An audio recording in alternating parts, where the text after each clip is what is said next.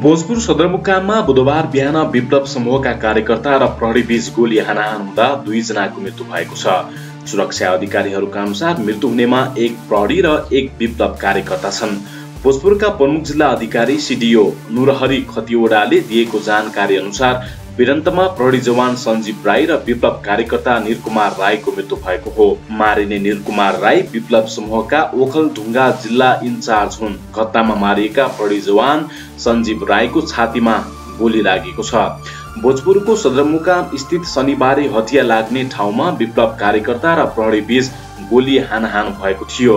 सिडिओ खतिवडाका अनुसार प्रहरीले विप्लव कार्यकर्ताको साथबाट एक थान लोडेड पिस्तोल बरामद गरेको छ। यसैबीच भोजपुर भिडन्तमा मारिने प्रहरी जवान सञ्जीव राई लामो समयसम्म नेकपा नेता एवं सङ्घीय सांसद सुदन किराँतीको सुरक्षा गार्डमा खटिएका व्यक्ति थिए। भोजपुरबाट निर्वाचित सङ्घीय सांसद तथा नेकपा केन्द्रीय सदस्य सुदन किराँतीसँग लामो समय बसेका सञ्जीव मिलनसार र कामप्रति निष्ठावान थिए। केही समय यता उनी जिल्ला प्रहरी कार्यालयमा कार्यरत थिए। सादा पोसाक घुमुवा समूहमा उनको ड्युटी थियो। सांसद किराँतीले घटनामा सञ्जीव राईको मृत्युले निकै दुखी तुल्याएको बताएका छन्। उनले आफू जिल्लामा रहँदा लामो समय सञ्जीव आफ्नो सुरक्षामा खटिने गरेको स्मरण समेत गरेका छन्।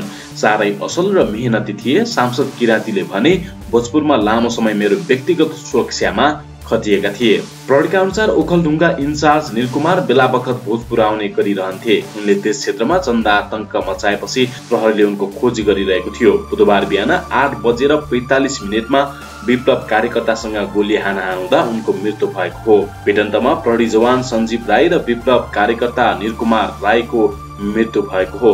यसै बीच प्रतिबन्धित विप्लव नेकपाका ओखलडुङ्गा इन्चार्ज निलकुमार राई बुधबार बिहान भोजपुरमा प्रहरीसँग गोली हानाहान हुँदा मारिएपछि तनावग्रस्त भएको छ। उनकी श्रीमती भोजपुरमा बस्दै आएकी छिन्। श्रीमती भेट्न आउँदा भोजपुर सदरमुकाम स्थित शनिबारे हाट लाग्ने स्थानमा प्रहरी जवान सञ्जीव राईसँग जम्का भेट भएको थियो। प्रदेश प्रहरी प्रमुख ठाकुर गेवालीका अनुसार पूर्व चिन्जान भएका प्रहरी जवान सञ्जीव राईलाई देखेपछि उनले पहिलो फायर खेलेका थिए। उनले चलाएको गोली लागेर प्रहरी जवान सञ्जीव अत्तालिए नजिकैबाट गोली प्रहार भएकाले ढले उनको छातीमा गोली लाग्यो।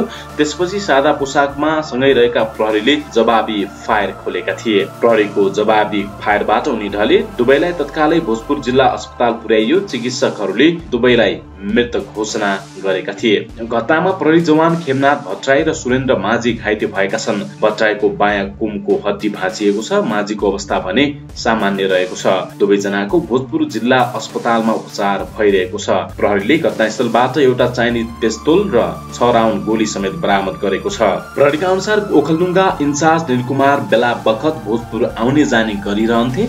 उनले त्यस क्षेत्रमा चन्दा आतंक मचाएको प्रहरीको आरोप छ।